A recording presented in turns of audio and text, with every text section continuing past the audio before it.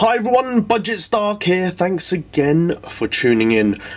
I've pretty much finished repositioning my figures and display cabinet.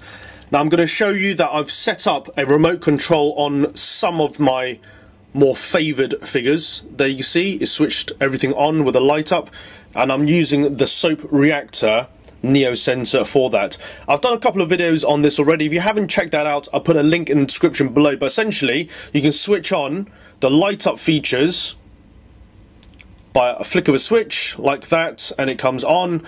So what I've done here is light up the base from the quarter scale Mark 42 and put a 1 in 6 scale Mark 42 diecast on there.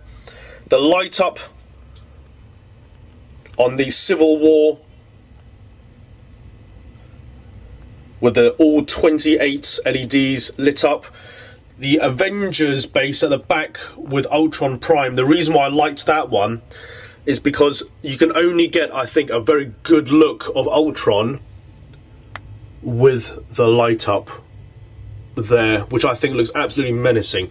Now I'm going to switch the lights on now in the whole cabinet. You can't see it as much when it's lit up but I just want to show you the light up features I have also I have the Hall of Armors I have on remote control again just switch it on and all the lights come on so I'm going to show you very briefly how the cabinet is displayed so on the bottom left hand side shelf here I've got the main bad guys, the Ultron Prime, Ironmonger, Whiplash at the back. Then we have most of the die-cast figures here. Now I've got a whole area empty for any new additions that I have. Quarter scales are also on the bottom shelf, but I'll come back to those in a moment. And you'll see here the quarter scale Mark 42 and the die-cast 1 in 6 scale. Then moving up on the left hand side, I've got some of these holographic customs, and my War Machine collection on the left. And this is a new pose I've done for the Civil War Mark III War Machine. I quite like it, how he's holding that.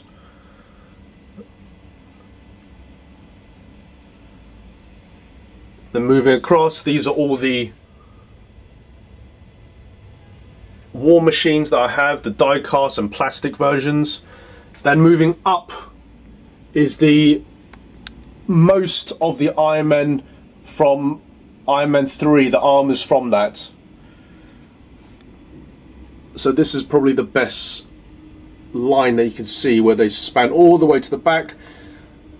I wanted more of the variants, so you have the Mark IV right to the back there with the secret project, and then all these different versions of the Mark 7. So you have the original, the Midas, the black, stealth, white version, the chrome chrome gold and then the silver centurions which I have two of the same silver centurions with the blue steel.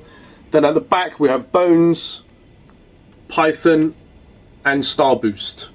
And I've got two versions of Igor or, I, or Igor depending on how you pronounce it a battle damage custom version and the standard version at the back.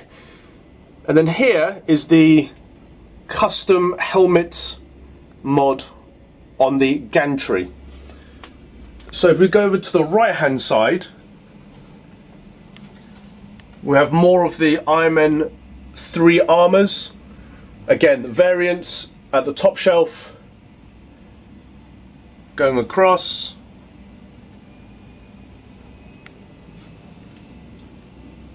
And at the back you can see the shotgun, a repainted Mark 6 and a standard Mark 6. The die-cast Mark 6 I'll put down on the bottom left hand shelf where I left space there. So on this side is pretty much my custom section. On the right hand side cabinet center shelf where I have the Silver Centurion battle damage which is a custom and then the center here is another battle damage custom Mark V then a Heartbreaker Battle Damage Custom. I've got standard Mark V here, and then this is a chrome repainted version. You can see that it's a little bit more bling, a little bit more vibrant on the sort of silver sections. That looks a little bit more metallic. And then across here is just the standard Hot Toys Battle Damage version. This is a holographic custom, which is essentially a Mark 7.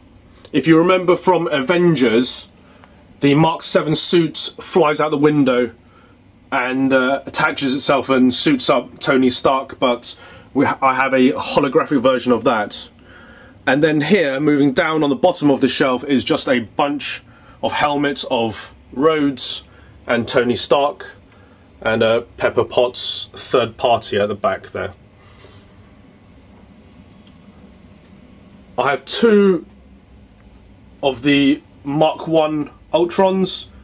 This one near the front is a custom painted showing a bit more weathering effect and next to it is the original. You can see the brown rust look is much more prominent on the front one which is the custom.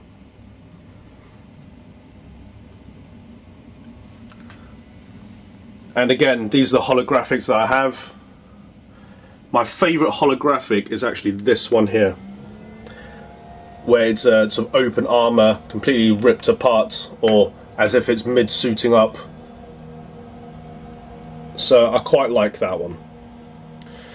Then moving down, I have a space ready for the Hot Toys Hulkbuster when it finally comes out. At the moment I've got the stand-in, which is the King Arts 1 in night scale Hulkbuster and the shelf is around 22 and a half 23 inches high.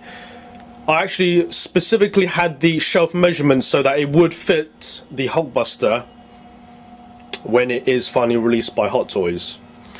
And then I have the three quarter scales the Mark 45 the 43 and the 42 and I've put the respective 1 in 6 scales in similar poses to the quarter scales the reason why I've got a lot of rubble or dioramas or accessories at the back is to hide the wires for that soap reactor. I've got the soap reactors linked into quite a few of these figures on the bottom shelf. So just to show you guys what I mean is that you can switch on all the powered up sections. There, switch it off and then back on again. Off, on. I just hate using batteries to switch on and off figures because essentially it's too much hassle to reposition, take the figure out, switch it on, leave it on for a few minutes and then switch it off, take the batteries out and then reposition again. It's just to me not worth the hassle so I'd rather have everything on a remote so you can switch on the lights and switch them off. So that is going to be my display cabinet for a while. If you remember, I had much more dynamic poses in my various shelves, but because of space constraints, which I would say is the nemesis of all collectors, space, I've had to reposition them to a lot more museum type poses and I've allocated specific areas for the new figures to go. Thanks for watching and catch you all at the next video.